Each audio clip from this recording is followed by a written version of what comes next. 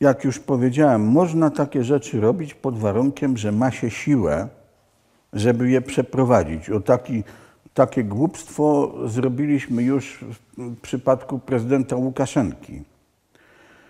Polska i Litwa zaczęły się bawić w mocarstwowość. Nie mówię, że nie można, ale można wtedy, kiedy się ma możliwości doprowadzenia pewnych spraw do końca. A Polska nie miała żadnych możliwości, próbując wysadzić Łukaszenkę w powietrze i zainstalować tam panią Swietłanę Cichanowską, naszą faworytę. Jaki skutek był tego? Łukaszenka się nie przestraszył, wszystkich tam spałował. Pani Cichanowska siedzi tam na Litwie, bo tam jej robią festiwale, ale już raczej tego. Łukaszenka został wepchnięty w objęcia Putina. W rezultacie Rosja przybliżyła się do Polski o prawie tysiąc kilometrów. A Polacy na Białorusi zostali, ci aktywniejsi oczywiście, zostali wszyscy wyaresztowani. Wpływy polskie zostały zrównane do gołej ziemi. No w polityce nie, nie tyle liczą się intencje, nie mówię, że się wcale nie liczą, ale jakie to tłumaczenie, że ktoś dobrze chciał, a wyszło jak zawsze? No, skutki się liczą jeszcze bardziej, bo to są skutki takiej przegranej wojny. No i teraz mamy jeszcze następną, to, to Łukaszenko postanowił się na nas zemścić. I tam zorganizował tych turystów egzotycznych, których oczywiście sprowadza, tam wojsko białoruskie wypycha ich nad granicę. Nasi tak nie bardzo wiedzą, czy ma, mogą strzelać, czy nie mogą do tych przestępców, bo jak ktoś przekracza granicę, to jest przestępstwo, na co zwrócił uwagę nawet profesor Simon, ten jastrząb taki covidowy. Y, no ale nie wiadomo, czy nawet Straż Graniczna i wojsko mają amunicję ostrą, bo mają karabiny, ale nie widziałem, żeby ktoś zrobił z tego użytek. Prawdopodobnie rząd się boi tego kroku, co powiedzą w Paryżu.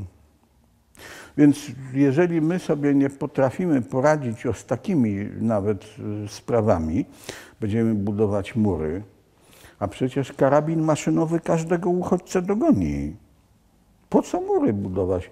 Nawiasem mówiąc, to jest jeszcze zbudowa muru, to może być, znaczy może być potraktowana, w każdym razie mnie przyszedł do głowy taki pomysł, jako zwycięstwo Rosji. Otóż terytorium dawnej Rzeczypospolitej będzie przedzielone murem. Z punktu widzenia Kremla to jest po prostu dar niebios. Dar niebios i to takim tanim kosztem. Takim tanim kosztem. Sami się zamurujemy. No, tu, to. Proszę bardzo. To tu panowie, pan pierwszy, a pan Ja mam takie, chciałem poruszyć kwestię... E, chciałem poruszyć kwestię właśnie naszego sąsiada wschodniego, Białorusi. Czy jest jakaś możliwość nawiązania współpracy, bo z tego co, e, co można przeczytać, to Białorusini mają pewien sentyment jeszcze do dawnej Rzeczpospolitej. Oni nawet tam obchodzą święta związane z pierwszą Rzeczpospolitą. Bo teraz będą obchodzili 17 września. Już jest też związane z Rzeczą Pospolitą, ale to nie tak, ale dla nas drugą, nie miłe. Tak, to już z drugą, ale właśnie, właśnie słyszałem, że, że oni odnoszą się właśnie do tej pierwszej Rzeczpospolitej.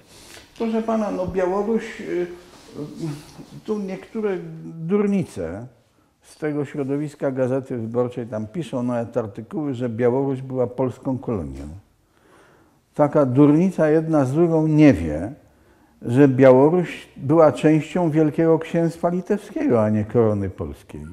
Więc jak mogła być polską kolonią? Była częścią Litwy, z którą Polska pozostawała w Unii od 1569 roku. No, więc wie pan, no nie można zaczynać, nie można, proszę pana, abstrahować od tego, kto takim krajem rządzi. Nawet jak prezydent Łukaszenko, on tam, ja go nie uważam za bohatera mojego romansu, ale no, na tyle, wie pan, widziałem, że on próbował przez całe lata kilkanaście lat lawirować między Rosją i Zachodem, bo Rosja, odkąd Putin został tam wielkim wezyrem, to Rosja ma na celu odbudowanie imperium rosyjskiego no, w takich granicach, jak, jak to jest możliwe. I Białoruś oczywiście też. No i Łukaszenka jak mógł, to się migał. Tam udawał, że on tu wszystko, ale tak naprawdę to nie.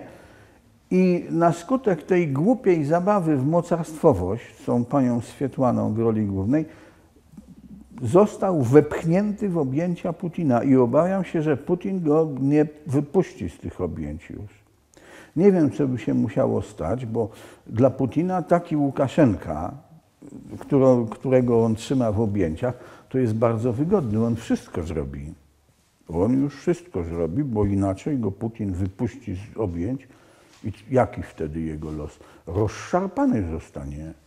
A być może nawet z panią Swietłaną Putin się dogada i powie, no wiesz, to my tu się dogadajmy, z Łukaszenka niech go diabli wezmą i tak dalej. To jest możliwe. To jest możliwe. Więc nie pan, pierwsza rzecz, jaką, o jakiej trzeba pamiętać, jeśli się chce tam jakąś współpracę prowadzić czy nawiązać, żeby nie robić głupstw. Żeby nie robić głupstw, bo natomiast jak się robi głupstwa, to znaczy Polska się nadyma, wie pan, że tu i co się okazuje, że nie jest w stanie nawet groźnie kiwać palcem w bucie, bo, się, bo Łukaszenka, który ma poparcie Putina, bo Putin go trzyma w objęciach, już się nikogo nie boi, a już Polski na pewno. Więc, ale to nie są warunki sprzyjające nawiązaniu jakiejś współpracy. Proszę bardzo. Ja mam pytanie, mówił Pan sporo o Niemczech. Jest e, część szeroko pojętego obozu prawicowego w, w Polsce, która, który twierdzi, że silny sojusz, silny sojusz z Niemcami jest w polskim interesie, w ślad za naukami Władysława Studnickiego. Mm, ci ludzie twierdzą, że ten sojusz spełniałby strategiczne cele Polski, czyli rozwój gospodarczy, bezpieczeństwo strategiczne, strategiczne, przepraszam, E, no, wyznawcami tego poglądu obecnie są na przykład Jacek Bartosiak, który twierdzi, że lepiej mieć sojusznika blisko, bo obca trasa atlantycka, no to wiadomo, e, Stany Zjednoczone, no Stany Zjednoczone w przypadku konfliktu raczej będą miały problem z dowiezieniem nam żywności, sprzętu i tak dalej. Piotr Zychowicz też jest wyznawcą tej idei. Co by Pan odpowiedział? E, wyznawcą tego No ja, wie Pan, w to nie wierzę. W to nie wierzę. Niemcy, wie pan, w tym największy jest ambaras, żeby dwoje chciało naraz. To, co pan Bartosiak pisze i mówi, to są marzenia dziewcząt. Niemcy wcale nie chcą być żadnym naszym sojusznikiem. Niemcy chcą nas trzymać za mordę. Tu Władysław Studnicki rzeczywiście tak mówił, ale w jakim kontekście to mówił? nie bezwarunkowym, tylko warunkowym. Stunicki mówił tak, jeżeli chcemy bronić naszych kresów zachodnich, to musimy się dogadać z Rosją.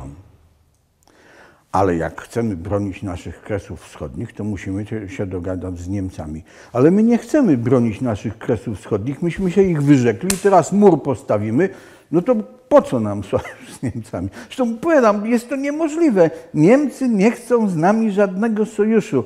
Ja to w ogóle, wie pan, no, nie chcę być niegrzeczny wobec pana Bartosiaka, bo on mi nic złego nie zrobił. Natomiast no, y, mogę powiedzieć, że y, nie wierzę w tę geopolitykę całą, te wszystkie takie, wie pan, daleko idące wnioski. Znaczy w tym sensie one są y, prawdziwe, że trzeba uwarunkowania geograficzne uwzględniać, to jasne. Jeżeli jakieś państwo jest wyspiarskie, tak jak Wielka Brytania, no to siłą rzeczy musi mieć siły morskie, żeby nie zostało zablokowane, to jasne. No i tak było. Natomiast wie pan, no ja się zraziłem do tej geopolityki, jak jeszcze byłem naczelnym redaktorem najwyższego czasu. No i tam było takie środowisko w Unii Polityki Realnej, właśnie wyznawców geopolityki, które mnie przekonywało, żeby tu nadać y, pismu taką linię, że tu sojusz z Rosją, żeby propagował. No nie bardzo wiedziałem dlaczego, więc oni użyli argumentu koronnego, że jest lej kontynentalny taki i to właśnie determinuje naszą, to, nasze zachowanie. Prawie, że mnie przekonali.